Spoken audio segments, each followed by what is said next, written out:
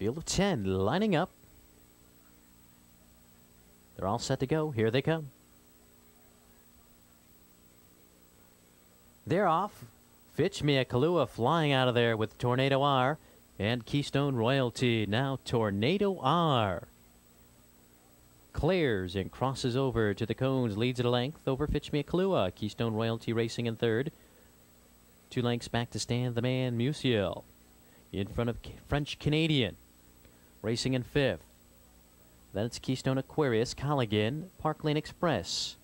Cam Fleet unhurried early on. Easy Hanover trails the field off the quarter, 28 and 1.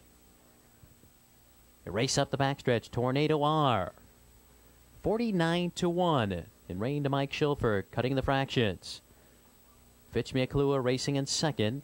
Keystone Royalty is third. Stan the Man Musial racing in fourth. Then it's French Canadian. Colligan swings to the outside. Keystone Aquarius saves ground.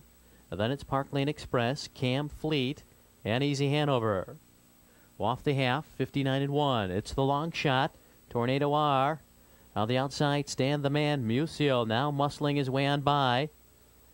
Field races on to the far turn. Three eighths to go. Stan the Man, Musial. Takes command. Tornado R racing in second on the outside, French Canadian. Here comes Fitch Mea Kahlua. Keystone Royalty racing in fifth. They're in the home stretch. Quarter of a mile to go. Stan the Man. Musial leads it. Tornado R is coming on again.